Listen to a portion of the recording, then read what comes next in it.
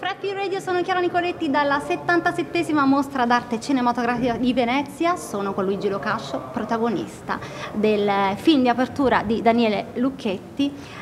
Lacci, benvenuto, bentornato su Fred. Eh, ciao, è bellissimo tornare. Come descriveresti il tuo Aldo?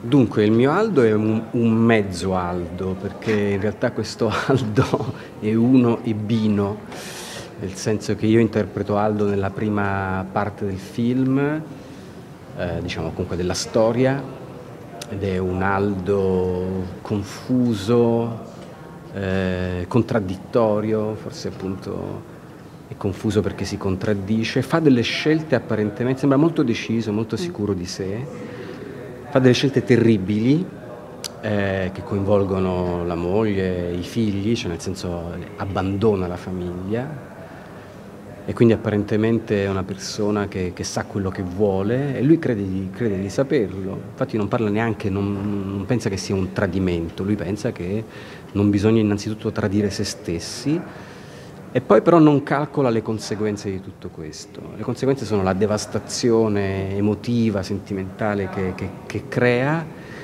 e quando a un certo punto tenta di recuperare perché il tempo è passato e questa lontananza comincia a pesare. Nel frattempo il rapporto con la donna di cui si è innamorato e che, ha, che lo ha dire, tirato a sé, allontanandolo dalla famiglia, quel, quel, quel, quel, rapporto comincia leggermente a sgretolarsi, ecco che Aldo decide di tornare.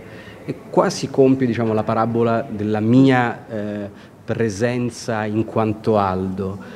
Purtroppo per, per lui diciamo, l'Aldo della seconda parte, cioè Silvio Orlando, invece dire, sconterà i problemi di questo ritorno, perché c'è stato il dramma dell'abbandono all'inizio, ma questo è il dramma del ritorno, il dramma della riconciliazione, che è la premessa invece di una carneficina, è la premessa invece di, di, una, di un consegnarsi da parte di Aldo alle sevizie quasi, alla, alla, al sadismo della moglie che, che si vendica diciamo, di tutto quello che aveva patito per colpa sua. E infatti è interessante vedere questo percorso perché a prima vista, almeno all'inizio, quasi sentiamo Aldo come appunto come dicevi tu il carnefice, in realtà sì subisce un po' Nella le conseguenze di questa sua confusione che l'ha portato a, a mm. forse a impersonare e diventare ciò che è stato scelto per lui o le regole, i condizionamenti. Il film mostra anche tanto questo, come siamo stati, come forse sper- spero non siamo mm.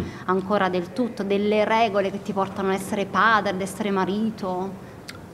Eh, sì, ma devo dire anzi che forse è un po' il contrario, cioè dal mm. mio punto di vista, no, no, ma nel senso per integrare, forse dico la stessa cosa ma in un altro modo cioè, eh, è proprio perché lui non voleva regole, è proprio perché lui non voleva fare il padre, è proprio perché lui voleva seguire il suo, cioè quello che è adesso, lui già lo, lo fa. Eh, però questo crea delle conseguenze. Forse la differenza è che lui a un certo punto gli rimane qualcosa per cui tutto questo in qualche modo lo, eh, lo logora e invece adesso il nostro egoismo, la nostra capacità di fregarcene totalmente non crea un ripensamento, non crea un guardarsi indietro. Allora in questo senso magari, ma se invece in noi rimane questo scrupolo, andiamo, ci ritroviamo nella condizione di Aldo. A quel punto diciamo eh, si aprono varie, varie strade. Quest, quella condizione, siccome Aldo ha fatto molto male, fatto molto male e se n'è andato molto, non è che se n'è andato soltanto, se n'è andato molto male, allora in quel caso diciamo questa è la fine che, però se invece andando via c'è un modo che non che addolcisce la cosa, ma che spiega, che è più autentico, che tiene conto della sofferenza degli altri, forse il ritorno è ancora possibile, un ritorno su basi nuove in cui comincia un nuovo rapporto, tante, tante coppie ritornano insieme felicemente, quindi e non, è un, non è una diminuzione o una resa oppure un non sapere stare da soli, tornano insieme trasformati e nasce una nuova cosa bellissima, anzi più bella di prima, quindi non è detto le rotture possono essere anche, eh, le ferite possono essere anche rimarginate nell'affrontare questo personaggio e fare un percorso con il personaggio di crescita anche personale, perché immagino capiti sempre, È stato complicato non chiudere il cerchio, cioè regalare mm. la chiusura a Silvio Orlando in questo caso? Ah no, no, no, quasi potremmo dire che Silvio ha regalato a me l'apertura.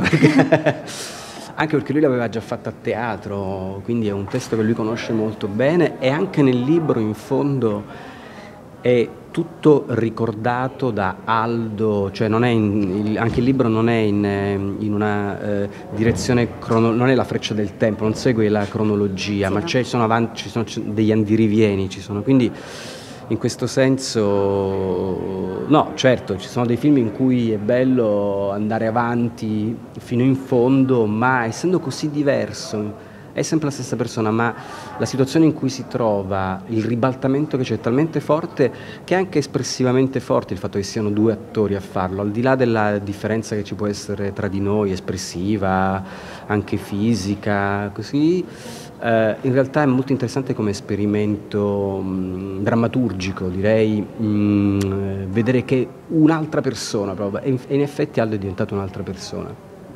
Grazie Luigi Locascio, in bocca al lupo per Lacci che stasera non solo apre la mostra al Cinema di Venezia edizione 77 ma è nei ma cinema, è nei eh, cinema sì, sì, sì, quindi sale. 100 sale potranno vedere con sale. noi l'apertura di Venezia. Vi aspettiamo, grazie. grazie. E io sono Chiara Nicoletti e questo è Fred da Festival Insider.